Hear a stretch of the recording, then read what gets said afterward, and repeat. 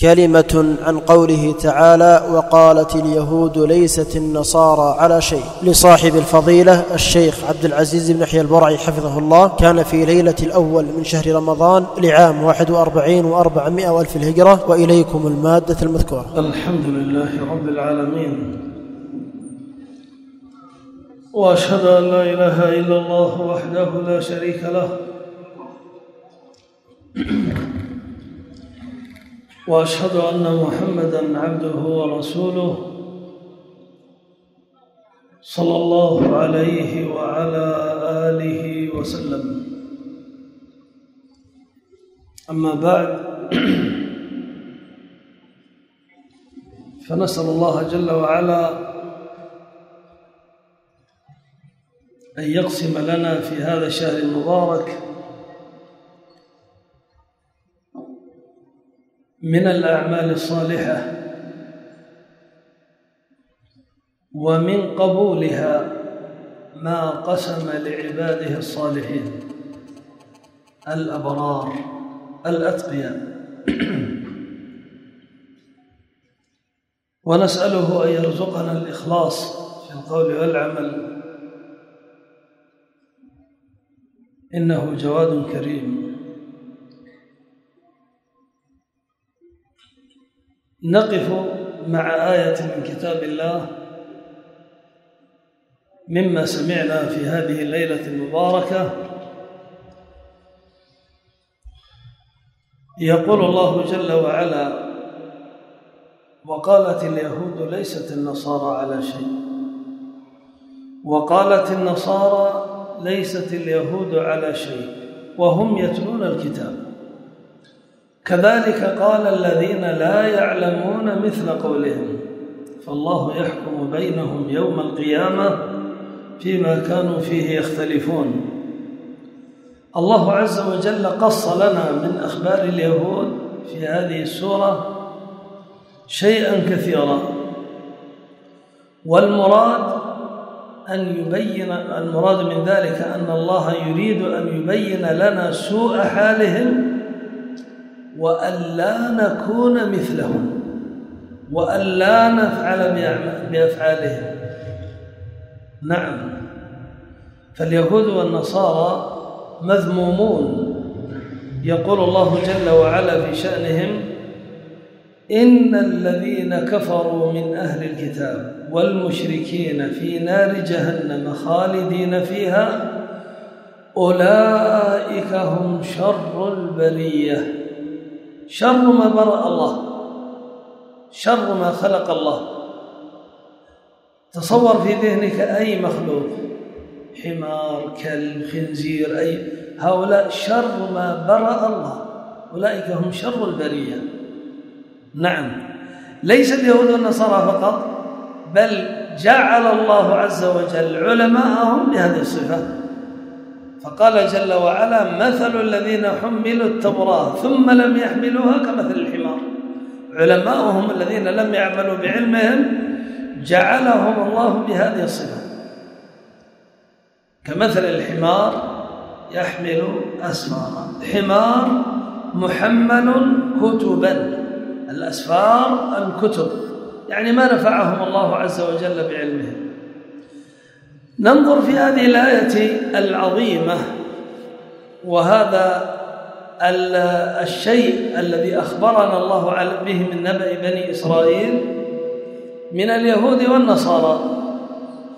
وقالت اليهود ليست النصارى على شيء. وقالت النصارى ليست اليهود على شيء. وهم يتلون الكتاب. ما لهم؟ أنتم تقرؤون التوراة والإنجيل وأنتم تقرؤون التوراة والإنجيل. لماذا كل واحد يطعن في الآخر بهذا الطعن الكبير؟ ولهذا قال وهم يتلون الكتاب. موسى وعيسى على منهج واحد وعلى دين واحد وأنتم أتباع موسى وعيسى. وقبل بعثة النبي صلى الله عليه وعلى آله وسلم من أراد الدين الحق فليدخل في اليهودية أو النصرانية. ذاك الحق الذي هو موجود. ذاك الحق أنا ذاك الذي هو موجود. من أراد الدين الحق دخل في اليهودية أو النصرانية. وإذا صدق فيما هو عليه فهو موفق كحال ورقة بن نوفل. الذي سمع من النبي صلى الله عليه وعلى آله وسلم اقرأ باسم ربك الذي خلق وهو من علماء اليهود والنصارى كان يكتب من الإنجيل بالعربية أو. نعم ما شاء آه، كان على دين الحق ولهذا قال للنبي صلى الله عليه وعلى آله وسلم هذا والله الناموس الذي أنزل على موسى يا ليتني فيها جذعا ليتني أكون حيا إذ يخرجك قومك. قال ومخرجيهم؟ قال لم يأتي أحد بمثل ما جئت به إلا عودي وإن يدركني يومك أنصرك نصرا مؤزرا. فمات آه يعني قريبا يعني مات عمر طويلا رضي الله عنه. المقصود أن الله عز وجل يقول لهم لماذا تقولون هذا الكلام لبعضكم في بعض؟ وأنتم تتلون الكتاب. يعني قل عندهم أخطاء عندهم زلات أما ليسوا على شيء. وهم عندهم الإنجيل. أصحاب الإنجيل يقول اليهود ليسوا على شيء وهم عندهم التوراة. كيف ليسوا على شيء؟ هذا إجحاف.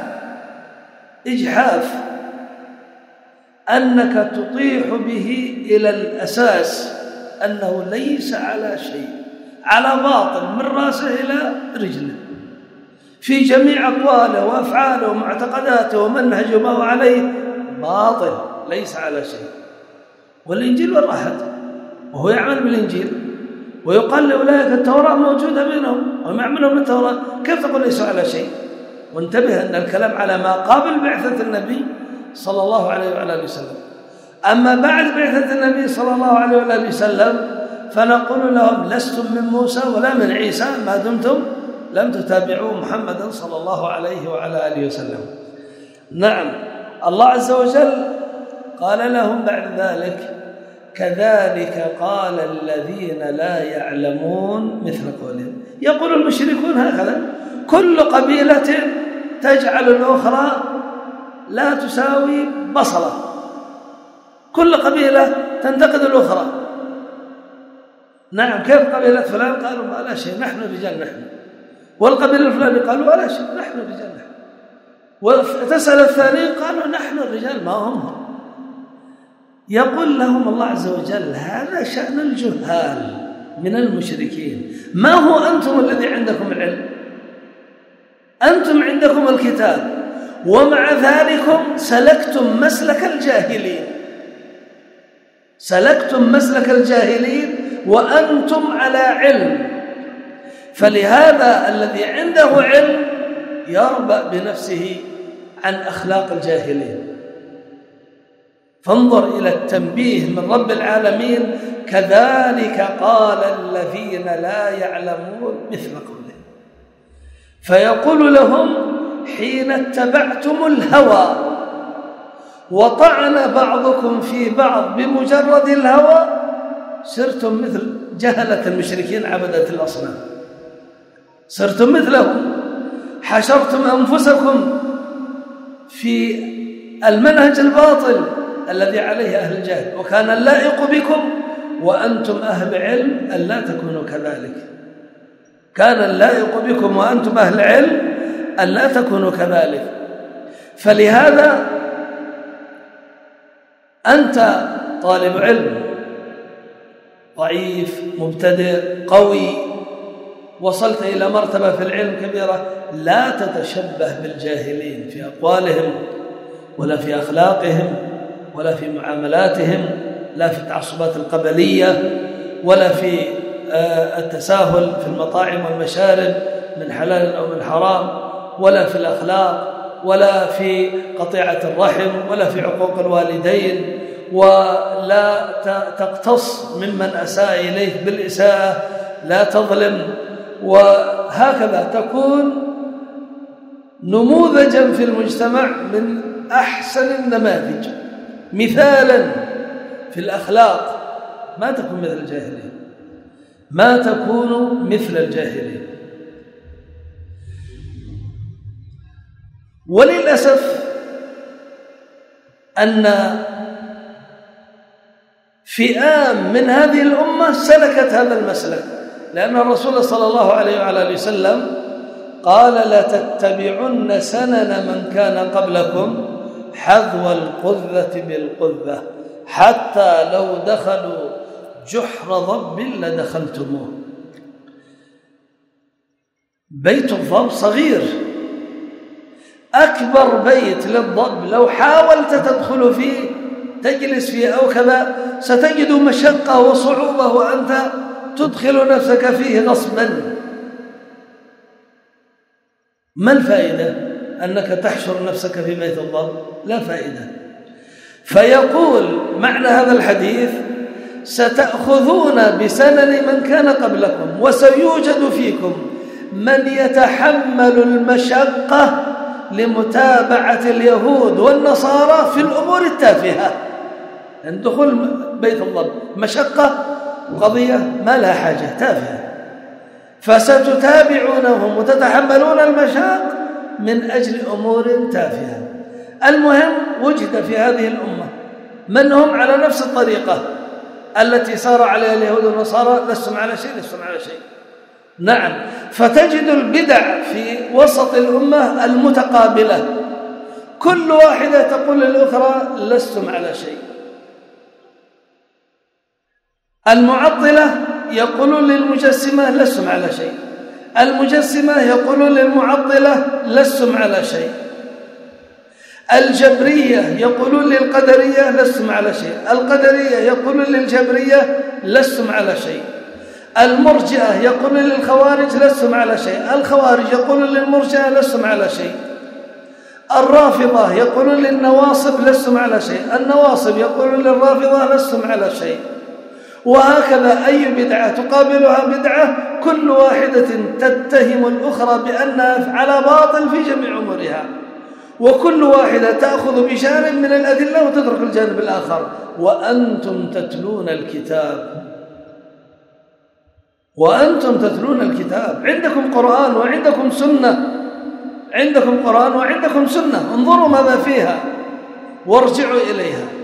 لهذا الذي على سنة ومنهج سلفي لا يكون من هذا القبيل. ولا يتبع الهوى. لا يتبع الهوى. انتبه بارك الله فيك. عندما أكون أنا وأنت على دعوة واحدة. ثم اختلفنا. وأصبحت أنت في جانب وأنا في جانب. خيرا.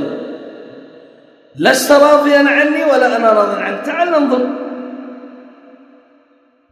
عندما كنا على منهج واحد ودعوة واحدة وأخوة متحابين أمامنا فئام من أهل البدع والحزبيات والجمعيات وغير ذلك.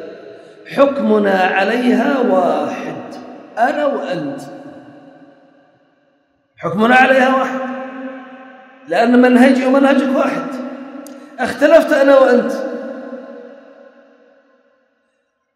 استمر حكمنا على تلك الطوائف المبتدعة كما هو. ما تغير. إن سألني سائل عن الطائفة الفلانية أجيب. بالجواب الأول وإن سألك أجبت بالجواب الأول. ينتقل إلى الطائفة الثانية يسألني عنها أجيب بنفس الجواب. الأول وأنت تسأل تجيب بنفس الجواب الأول. أحكامنا على أهل البدع ما تغيرت ومع ذلك أنا أطعن فيك وأنت تطعن فيها. معناه أن هناك هوى. ما هناك شيء جديد هناك هوى. هناك هوى. موجود في إحدى الطائفتين. هذا تقريب للذهن. وبعد ذلك انظر آه بعد ذلك يعني الله يحكم بينهم يوم القيامة فيما كانوا فيه يختلفون إذا تمام الآية. لكن هذا يوضح لك شيئا مما يحدث في المجتمع. شيء مما يحدث في المجتمع. إذا اختلف فريقان ووجدت أن منهجهما باق على ما كان في الحكم على المخالفين. ومع ذلك فيما بينهم كل واحد يقول للثاني أنت على باطل. معنى أن هناك هوى عند الاثنين أو عند أحدهما. وسيدخل عليهما ما تضمنته هذه الآية. وقالت اليهود ليست النصارى على شيء. وقالت النصارى ليست اليهود على شيء. وهم يتلون الكتاب. عندكم ننقلها إلينا. عندكم الكتاب والسنة. ومع ذلك تشبهتم بالجاهلين الذين يحكمون بالهوى. فأنت يا صاحب السنة يا من أنت على الكتاب والسنة كن عبد الله المظلوم. ولا تكن عبد الله الظالم. كما قال النبي صلى الله عليه وسلم كن عبد الله المقتول ولا تكن عبد الله القاتل. فالمقصود أن الله عز وجل قص لنا هذا الأمر من قصص اليهود والنصارى ليخبرنا ويكشف لنا صفحة سوداء من صحائفهم ويحذرنا من أن نكون مثلهم أو أن نسلك مسلكهم.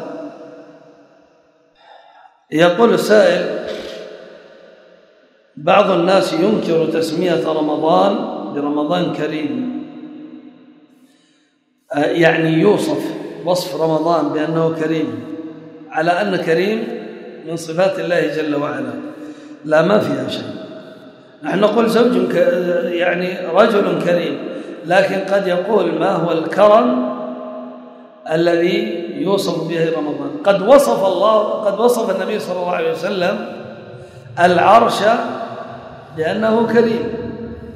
في حديث دعاء الكرم لا إله إلا الله العظيم الحليم لا إله إلا الله رب العرش العظيم لا إله إلا الله رب السماوات ورب الأرض ورب العرش الكريم. فوصف العرش بأنه كريم وأنه عظيم.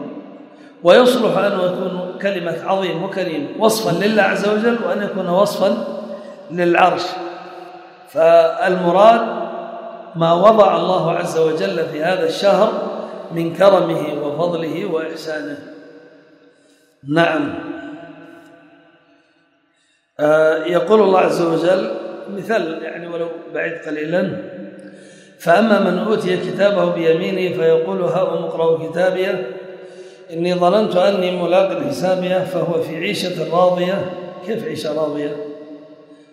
يعني من شدة ما فيها من الخير وما الرجل راض بما هو عليه نسبت نسب الرضا إليها. وكأنها هي قد أصبحت راضية مع أنه هو الذي هو راض. هو الذي هو راض فوصف الله العيشة بالرضا. وهذا شبيه بهذا فيعني أصبح ما يجعله الله عز وجل من الفضل والكرم والخير والرحمة في هذا الشهر الكريم من هذا القبيل. قال هل يشرع قراءة دعاء الاستفتاح في بداية كل ركعتين من صلاة القيام؟ لا مانع لا مانع من ذلك وإن تركه فلا شيء عليه. لكن بالنسبة لأول الصلاة هناك دعاء كان النبي صلى الله عليه وسلم يدعو به في قيام الليل في دعاء الاستفتاح. اللهم رب السماوات والأرض عالم الغيب والشهادة.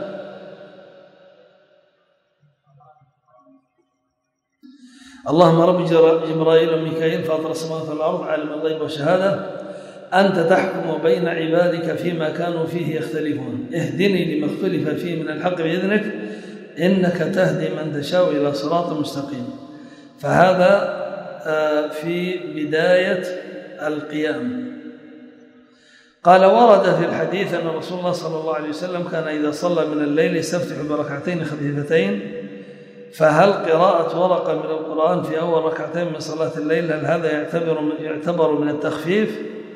إذا جعلنا الخفة نسبية نسبية فينظر كم ستقرأ في الركعات الأخرى إذا كنت ستقرأ بأربع وخمس صفحات يعني فنعم أما إذا كان فارق النصف ففي النفس شيء. على كل حال قد ورد هذا بحيث يصبح صلاة الليل ثلاثة عشر ركعة ورد في حديث عائشة وفي حديث ابن عباس. حديث عائشة أنه كان يفتتح بركعتين خفيفتين ثم يصلي أربعا فلا تسأل عن حسنهن وطولهن ثم يصلي أربعا فلا تسأل عن حسنهن وطولهن ثم يوتر بثلاث. وحديث ابن عباس عندما بات عند خالته ميمونة فنام في عرض الوسادة فنام النبي صلى الله عليه وسلم وأهله في طول الوسادة ونام هو في عرضها. فقام النبي صلى الله عليه وسلم في أثناء الليل فتوضأ وقام يصلي. فقام ابن عباس فتوضأ وقام بجواره يصلي. قال فصلى ركعتين ثم ركعتين ثم ركعتين ثم ركعتين ثم ركعتين ثم ركعتين ثم ركعة. ولم يذكر تخفيفا في أولها. لكن المهم أنها سارت صارت صلاته ثلاثة عشر ركعة. إلهنا بارك الله فيكم.